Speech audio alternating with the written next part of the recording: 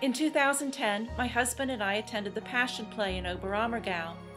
Based on a vow the Alpine village made to the Lord if he would spare them from bubonic plague, they faithfully performed the Passion for, for 380 years. But I had to wonder, how did the Passion village respond to the dictates and cruelties of Hitler and the Third Reich, which represented anything but the love of Christ?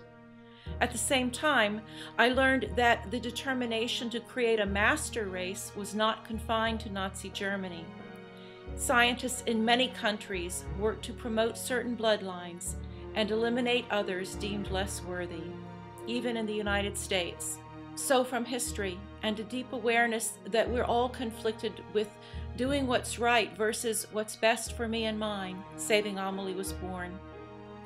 Saving Amelie is Rachel Kramer's story.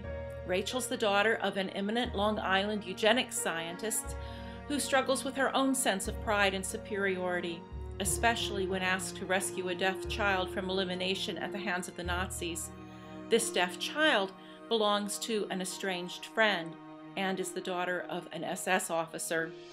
Jason Young, driven American journalist, crusader type, and most unlikely ally to Rachel, connects her with the German resistance, helping Rachel and Amelie escape Berlin.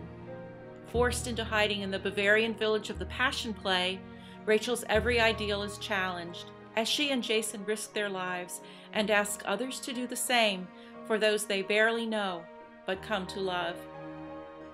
Saving Amelie is available in bookstores and online.